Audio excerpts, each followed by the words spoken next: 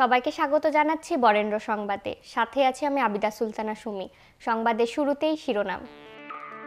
প্রধানমন্ত্রী হিসেবে হ্যাট্রিক করতে যাচ্ছেন শেখ হাসিনা। জাপা হচ্ছে বিরোধী দল। রাজশাহীর সকল আসনের ফলাফল। জঙ্গিবাদকে প্রত্যাখ্যান করেছে বাগমারাবাসী, এনামুল। কামারুজ্জামানের মাজার জিয়ারত করলেন বাদশাহ। টানোর গোদাগাড়িবাসীকে ধন্যবাদ দিলেন ফারুক চৌধুরী। রাজশাহীতে নির্বাচনী সহিংসতায় নিহতের সংখ্যা বেড়ে তিন। এতক্ষণ শুনছিলেন সংবাদ শিরোনাম, এবার বিস্তারিত। প্রধানমন্ত্রী হিসেবে হ্যাট্রিক করতে যাচ্ছেন বর্তমান প্রধানমন্ত্রী শেখ হাসিনা। রবিবার অনুষ্ঠিত একাদশ জাতীয় সংসদ নির্বাচনে শেখ হাসিনার নেতৃত্বাধীন আওয়ামী লীগ নিরঙ্কুশ সংখ্যাগরিষ্ঠতা অর্জন করেছে।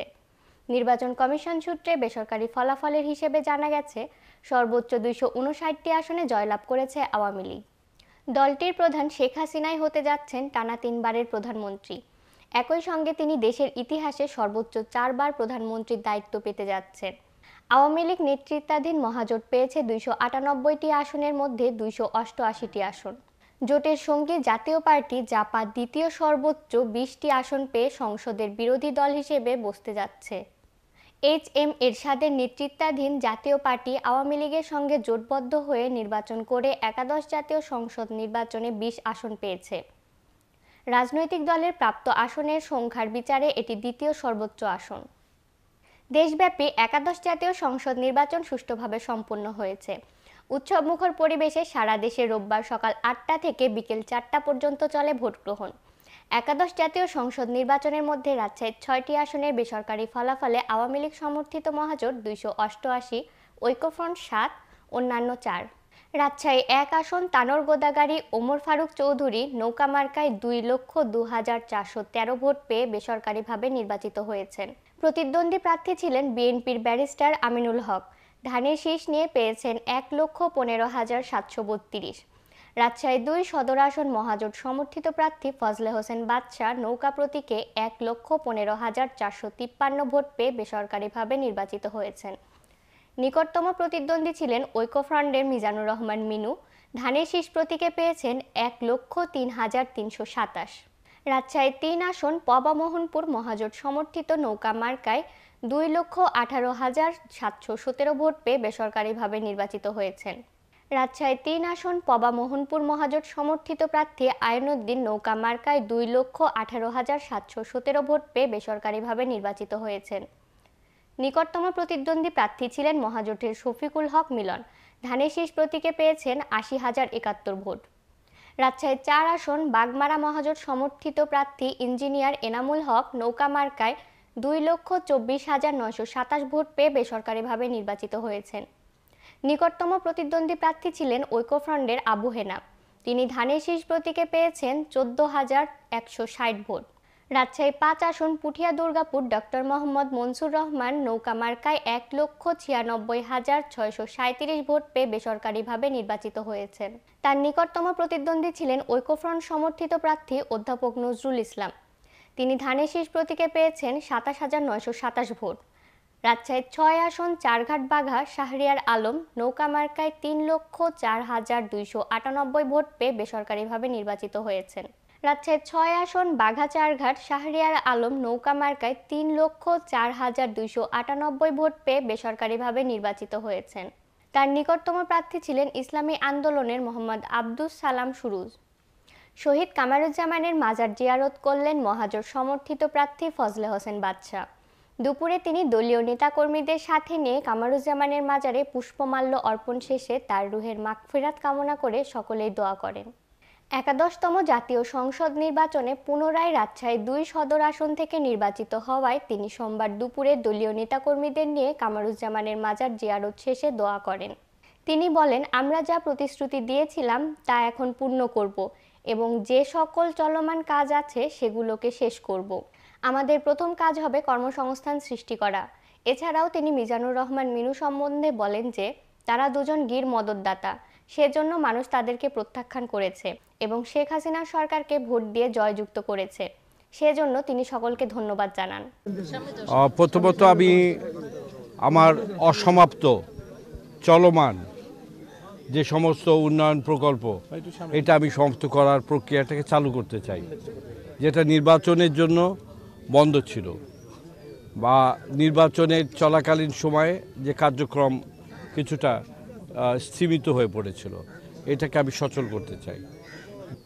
এবং আমার যে জনগণ যে আমাকে কেন্দ্র করে স্বপ্ন দেখেছে উন্নত রাজশাহী, সেই উন্নত রাজশাহী গড়ে তোলার প্রক্রিয়ায় আমি Rajshahi city corporation, Rajshahi city কর্পোরেশনের মেয়র জনাব খায়রুজ্জামান লিটনকে যুক্ত করে আমরা সামগ্রিকভাবে রাজশাহীকে একটা উন্নত নগরী হিসাবে গড়ে তোলার জন্য আমাদের দায়িত্ব পালন করব।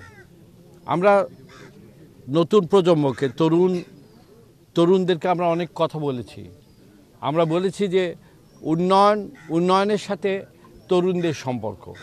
মানে উন্নয়নে থাকে কর্মসংস্থান, তাদের যে মেধাগত শক্তি, জ্ঞান, প্রযুক্তিগত দক্ষতা তা কাজে লাগাতে পারে।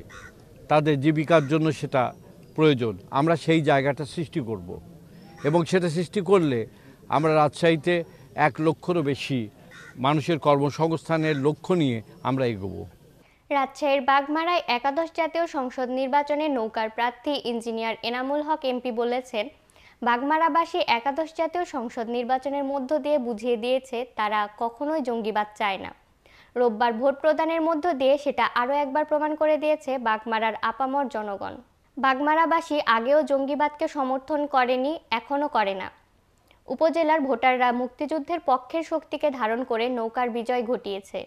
এ বিজয় ইঞ্জিনিয়ার এনামুল হকের একার বিজয় না। এই বিজয় সমগ্র বাগমারাবাসীর। বাগমারাবাসী যে স্বপ্ন নিয়ে বিপুল ভোটের ব্যবধানে নৌকার বিজয় নিশ্চিত করেছে তাদের সেই স্বপ্নকে বাস্তবে রূপ দিতে কাজ করে যাওয়ার অঙ্গীকার ব্যক্ত করেন ইঞ্জিনিয়ার এনামুল হক। বাগমারায় শান্তিপূর্ণ পরিবেশে অনুষ্ঠিত হয়েছে একাদশ জাতীয় সংসদ নির্বাচনের ভোট গ্রহণ। কোনো প্রকার অপ্রীতিকর ঘটনা ছাড়াই সকাল আটটা থেকে বিকেল চারটা পর্যন্ত চলে ভোট গ্রহণ। রাজশাহী এক আসনের তানোর গোদাগাড়ি নির্বাচিত সংসদ সদস্য ফারুক চৌধুরী তানোর গোদাগাড়িবাসীকে তাকে পুনরায় নির্বাচিত করায় ধন্যবাদ জানিয়েছেন।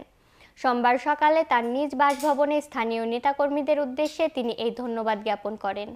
সোমবার সকালে তানোর গোদাগাড়ি আসনের দলীয় নেতৃবৃন্দ তার সাথে সৌজন্য সাক্ষাৎ করতে আসলে তিনি সকলকে মিষ্টিমুখ করান। আমরা মাননীয় প্রধানমন্ত্রীর সাথে মাদ্রাসা মাঠে যখন প্রেস কনফারেন্স করছিলাম, তখনই আমি বলেছিলাম মাননীয় প্রধানমন্ত্রীকে যে রাজশাহীর সব আসনেই আমরা ইনশাল্লাহ বিজয়ী হব। এবং সেটি হয়েছে, আমাদের আশা যেটি ছিল সেটি হয়েছে। তো আসলে সরকারি দল, মাননীয় প্রধানমন্ত্রীর যে উন্নয়ন এবং দীর্ঘ সময়ে থাকার কারণে দশ বছর সমস্ত ডেভেলপমেন্ট দৃশ্যমান হয়ে গেছে। মানুষের আস্থা জন্মেছে মাননীয় প্রধানমন্ত্রীর উপরে এবং ওনার এমপিদের উপরে। সুতরাং এই বিশাল বিজয়টা শুধু রাজশাহীতে নয়, গোটা বাংলাদেশে এই বিপুল বিজয় হয়েছে। তবে অত্যন্ত দুঃখজনক হলে এটি সত্য, ব্যারিস্টার আমিনুল হক যে একজন জঙ্গি, সে আবার প্রমাণিত করেছে গোদাগাড়িতে একজনকে হত্যা করেছে দশ পনেরো জনকে খাম জখম করেছে এবং তানোরে একজনকে হত্যা করেছে এবং দশ পনেরো জনকে জখম করেছে। আমি গোটা জাতির কাছে, ব্যারিস্টার আমিনুল হকের এই জঙ্গিবাদের এগেনস্টে প্রতিবাদ করছি এবং দ্রুত তাকে আইনের জায়গাতে নিয়ে যেয়ে বিচার আশা করছি। রাজশাহী এক আসনে গোদাগাড়ি উপজেলার পালপুর উচ্চ বিদ্যালয় ভোট কেন্দ্রে বিএনপি জামায়াতের হামলায় আহত আওয়ামী লীগ নেতা ইসমাইল হোসেন মারা গেছেন। সোমবার সকাল সাড়ে সাতটার দিকে রাজশাহী মেডিকেল কলেজ হাসপাতালে চিকিৎসাধীন অবস্থায় তিনি মারা যান। নিহত ইসমাইল হোসেন উপজেলার কাজীহাটা গ্রামের আজাহার কারীর ছেলে। আওয়ামী লীগ প্রার্থীর দেওয়াপাড়া ইউনিয়ন নির্বাচন পরিচালনা কমিটির যুগ্ম আহ্বায়ক ছিলেন ইসমাইল হোসেন। দুপুর সাড়ে বারোটার দিকে ভোটকেন্দ্রে হামলা চালায় বিএনপি জামায়াত নেতাকর্মীরা। এতে কয়েকজন আহত হন। হামলার সময় ইসমাইল পাশের একটি বাড়িতে আশ্রয় নেয়। সেখানে গিয়ে বিএনপি জামায়াত নেতাকর্মীরা ইসমাইলকে হাতুড়ি দিয়ে পিটিয়ে ও ধারালো অস্ত্র দিয়ে কুপিয়ে জখম করে। পরে তাকে উদ্ধার করে রাজশাহী মেডিকেল কলেজ হাসপাতালে ভর্তি করা হয়। অবস্থার অবনতি হলে তাকে হাসপাতালের আইসিইউতে রাখা হয়। সকালে তিনি মারা যান। এই ছিল আজকের বরেণ্য সংবাদে। সবাইকে সাথে থাকার জন্য ধন্যবাদ।